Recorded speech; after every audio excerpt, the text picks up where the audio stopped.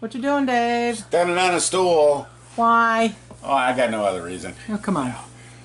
Changing the filters inside these vents. Those vents are not the original vents. No, I put up different ones that have this little, so it comes out. Oh boy, oh boy. Oh, come on, Dave. We're Dave and Karen from Watts on Wheels, and we sold our sticks and bricks to RV full time now that we are retired. We travel with our heavy duty truck Leroy, our two Can-Am motorcycles, our DRV Dixie, and our smart car Zippy. Don't forget to subscribe and click on that bell to be notified when we post a new video. Oh boy, oh boy. Oh, come on, Dave. Ain't that pretty? You think you need to change those a little more often? Eh, once or twice. What? The, just changed them last week. Oh, you did that. So did you, when you put these new vent covers up there, what were the other ones like? Well, the other ones are just, they just look like this part right here. Uh-huh. And it has a screw here and a screw here. Oh, so every time So you get got to the- unscrew it, pull it down, put a new one up, screw it. And this stuff isn't very thick. This Uh-huh. it screws to. Actually, I put a piece of wood up in here too that I ran these four screws into. Did you do that on all of them? Yeah. So I can just change it this way. Put it, the filter goes right inside this box. Was that box Yeah. the same size?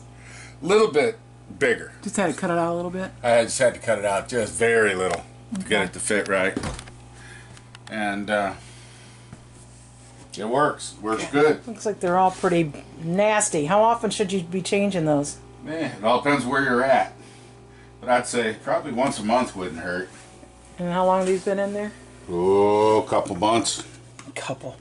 Probably four. Well, I want to go this way. That way I get two from each one. About there.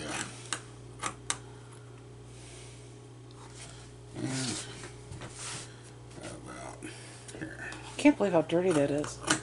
Yeah, it's a little, a little on the dirty side. Holmes on Homes would be going crazy.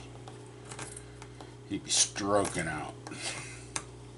Okay, so that just lays on there. Just lays up on that, and then you make sure you get it tucked in right. Right there. And close the door. Voila! That's it. That's it. You glad you changed those out, aren't you? Oh, now I am. No, I meant the uh, actual. Oh, yeah. Yeah. Oh, yeah. The? Change the actual vent. That stuff just comes in a bundle and you cut it to size. That's what it does. Yeah. It is Allertech Vent Guard Vent Filtration Kit. Keeps dust in check. So you just undo these little clips. Oh, my. Oh, jeez, Dave. I think it's been more than three months. Pretty, ain't it? God. Jeez. Well, it's been about That, three that sucker works good. Yeah.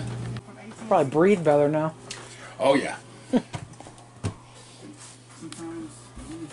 just lay down there. Oh, so this one, you could just let it hang. How come you didn't do that in the bedroom? Because it's over top the TV and it wouldn't. Oh, it went open far enough, huh? Right. There we go. Easy peasy. Thanks for watching. If you liked the video, please give us a thumbs up. We'd love to hear from you in the comments below, even if it's just to say hi. Don't forget to subscribe.